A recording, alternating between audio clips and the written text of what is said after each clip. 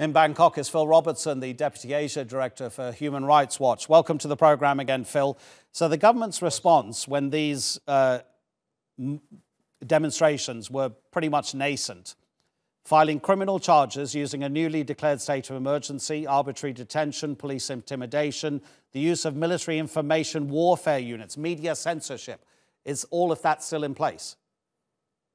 Yes, nothing has changed. Uh, what you've seen is a government that has not seriously negotiated on any of the major demands that the protesters have made. What they've done is charge these protesters uh, with various criminal offenses for uh, their exercise of freedom of expression, freedom of association, and peaceful public protest. Uh, and that's where we are. Nothing has really changed except now people are being released on bail uh, with the pledge that they not return to politics and not uh, reoffend uh, by uh, holding more protests. Well, I mean, each charge of lèse majesté can uh, result in a 15-year prison sentence. So some of these young activists could be facing more than 100 years in jail, theoretically. So you say that the government hasn't addressed the issues raised by the demonstrators. So isn't that just kicking the can down the road? I mean, if they don't do something now, if the movement is kind of curtailed because of the coronavirus pandemic, it's surely only going to return. Well, I think that is very likely. I think this young generation uh, is not happy with the status quo, and they are going to continue to uh, raise their voices and demand reforms.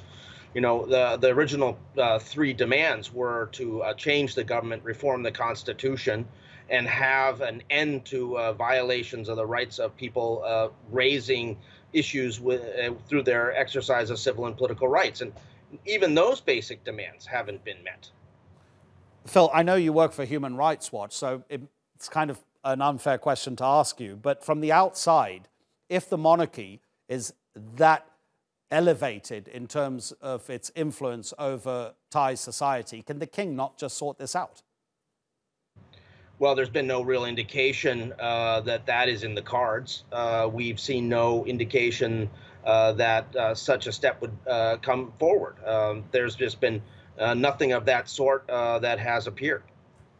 Okay, Phil, uh, do, is there any indication that uh, these young activists will be able to get the representation that might be able to help them when they eventually go to court? Or because of the situation in Thailand, you've got a former general who's now prime minister and he's left his army uniform behind, but it suggests that possibly it's not really the democracy that Thailand would like, it, like itself to be it's really a, a quasi-military uh, democracy or uh, a military wearing a democracy dress. Uh, I mean, we expect that they will go to court. Uh, they do have lawyers. They do have legal representation. Uh, but we're not terribly optimistic about the outcome. I mean, uh, these are charges that are politically motivated, and they're being pressed very hard against these people because they want to end the protest by decapitating the political leadership of the protests. Phil, thank you very much indeed. Phil Robertson from Human Rights Watch speaking to us from Bangkok.